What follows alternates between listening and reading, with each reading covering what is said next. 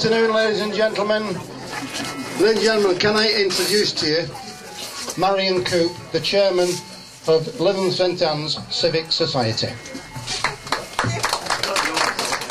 Um, welcome, everybody.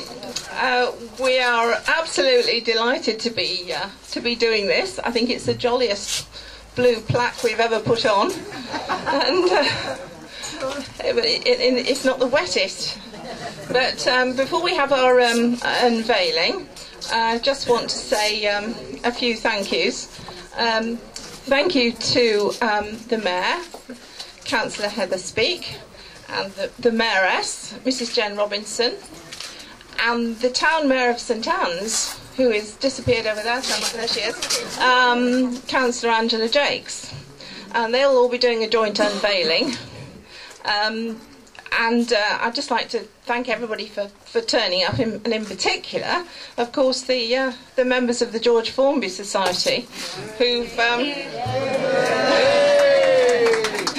who've already entertained us wonderfully, and um, and and will again. Uh, I had a look. I saw some of them um, performing on YouTube last night, so uh, perhaps this event will be on there as well. Be good.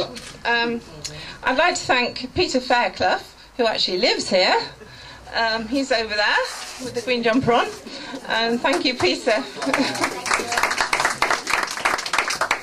thank you for having all our muddy feet in your garage and possibly your house, even, um, and entertaining us so well, and, um, and being so pleased to have the plaque on, on the house.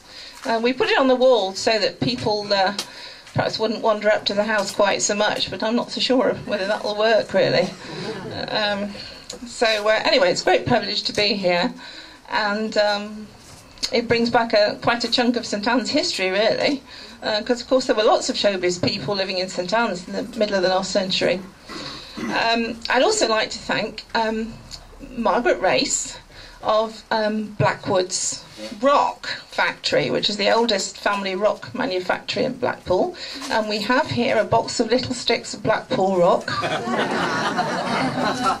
for everybody to take home.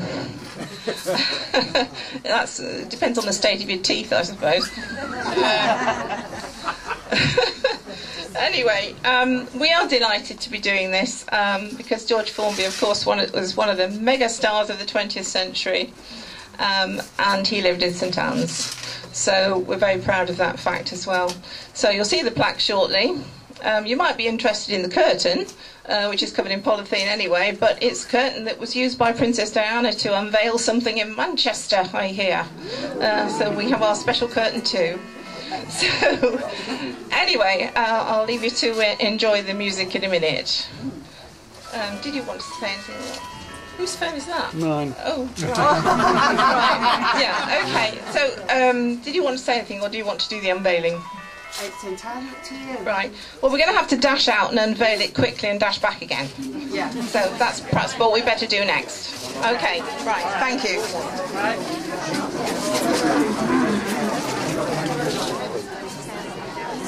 There's a young lady who wants, wants to talk to you. For the mayor. Right.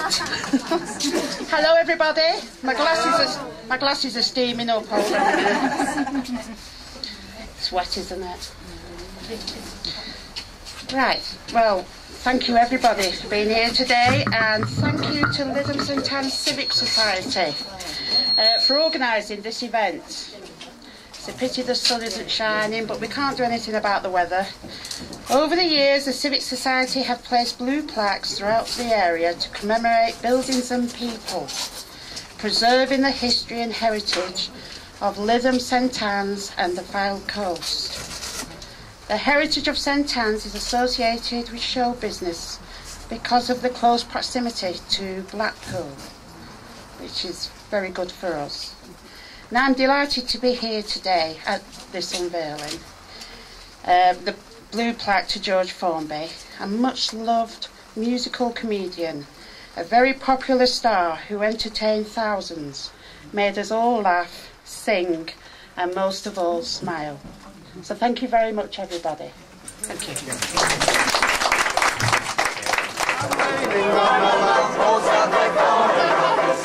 you.